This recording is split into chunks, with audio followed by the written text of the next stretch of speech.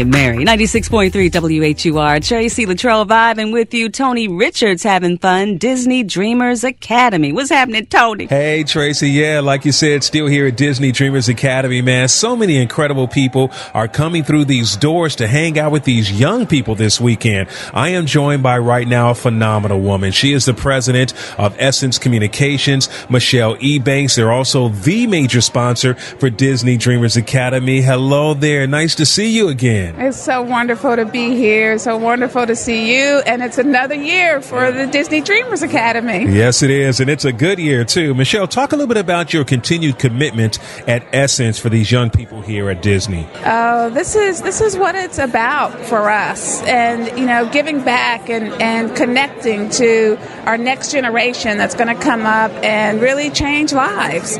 But we first have to invest you know, we have to invest in our youth and and impart what we know. Mm-hmm. And that is what this weekend is about, so that they understand their power and they can begin to chart, you know, a phenomenal future and then they give back.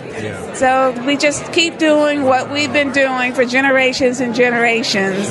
And it's fulfilling for everyone. We wouldn't miss this we're so appreciative of Disney and their commitment to Disney Dreamers Academy.